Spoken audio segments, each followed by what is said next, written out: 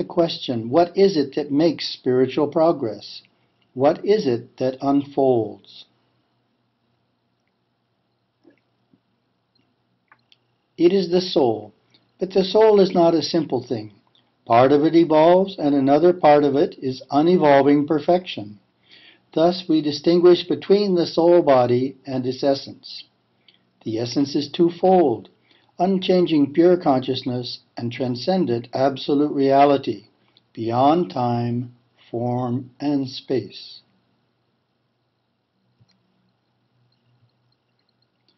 The soul body is referred to in Sanskrit as Anandamaya Kosha, sheath of bliss.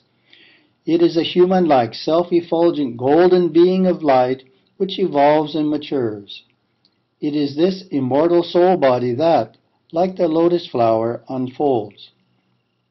Just as our physical body matures from an infant to an adult, so too does this self effulgent body of light mature in resplendence and intelligence evolving from life to life, gradually strengthening its inner nerve system, progressing from ignorance of God to God realization.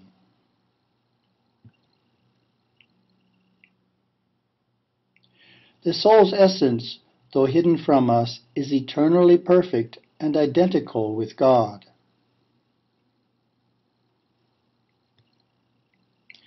Here is a little exercise to help understand your spiritual unfoldment. Choose the one Hindu saint, Swami or yogi, living or passed on, who you feel achieved the greatest spiritual attainment. Now imagine and accept the idea that his or her attainment is your own potential. That is the surprising truth. The potential to achieve what anyone else has achieved spiritually lies within you to be manifested at some point in your future. Perhaps that thought will motivate you to organize the sometimes puzzling pieces of your life and to put just a bit more effort into those spiritual practices. Visualize the lotus flower in full magnificent bloom. That is the symbol of your full, resplendent spiritual potential. Gurudeva shared his own mystical experience of the soul body in merging with Shiva. He said, One day you will see the being of you, your divine soul body. You will see it inside the physical body. It looks like clean, clear plastic. Around it is a blue light, and the outline of it is whitish yellow. Inside of it is blue yellowish light. And there are trillions of little nerve currents, or quantums, and light scintillating all through that. This body stands on a lotus flower, inwardly looking down through your feet. You see you are standing on a big, beautiful lotus flower. This body has a head, it has eyes, and it has infinite intelligence. It is tuned into and feeds from the source of all energy.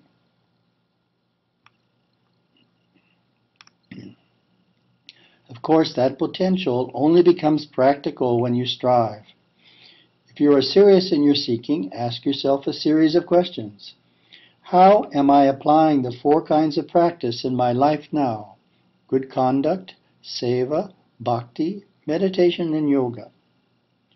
Which areas are most in need of my attention and increased effort? What do I need to do in order to improve? Then do it. We close this section with the hope that each of you will one day visit our little monastery on a garden island in Hawaii. Our Chola style entrance arch will welcome you inside. We designed the gate with the lotus motif, not just because we have lotus ponds, but because of the spiritual symbolism of the lotus. The gate begins with the mud of Maya on the bottom. The mud the bud grows out of the mud, through the water, and into the air. All the time it is reaching for the sun. It opens, like the soul, into the light. Om Namah Shivaya.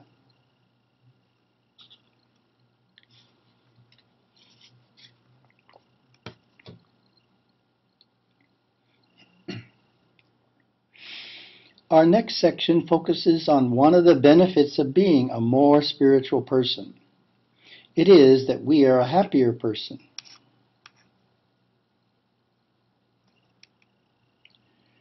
In 2011, I gave this section of the talk, which is on the concept of outer and inner happiness, at a satsanga at the Chinmaya Mission in Houston, Texas. For the occasion, I added a number of quotes from Swami Chinmayananda, which I have included in this presentation as well. Happiness is something that everyone wants to achieve in life.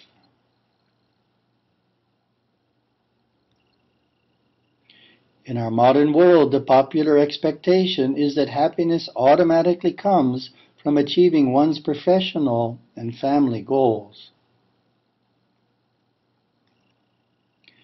Many adults have told me that they are surprised that even though they have, after many years, achieved their professional and family goals they thought would make them happy, they find they are not happy.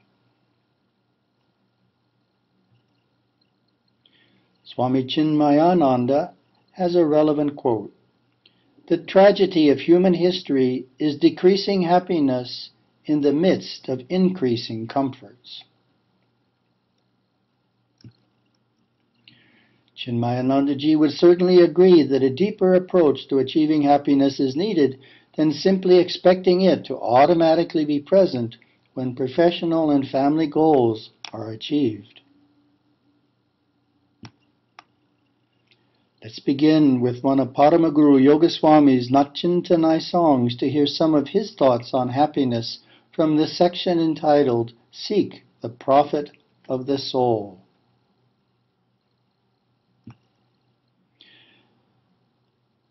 The wise who have seen that the profit of the soul is what is truly of value will not be carried away by the transient joys and sorrows of this earth but will live in the world like water on a lotus leaf. On the other hand, those who are unmindful of the good of their souls will go through life confused and agitated by worldly pains and pleasures. But the wise, who, having the well-being of the soul as their aim, have rid themselves of the idea of good and bad and I and mine, will live in heavenly bliss beneath the holy feet of the Lord, free from birth and death. The ignorant who do not know this fall into an ocean of misery.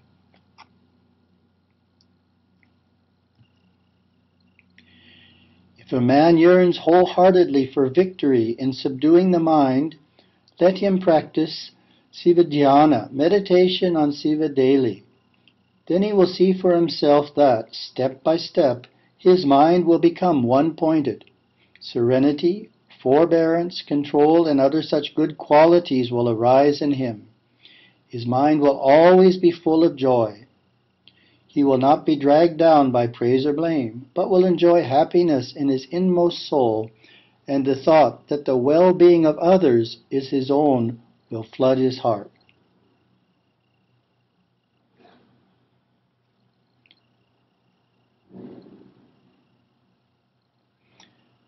The non mystical approach to happiness is that if you attain what you desire, you are happy. If you don't attain what you desire, you are unhappy. Win the lottery, get a great job, and you are happy. Lose the lottery, don't get a great job, and you are miserable. Webster's dictionary tells us that happiness is the emotion evoked by success or by the prospect of possessing what one desires. A reflective person knows that this kind of happiness is fleeting.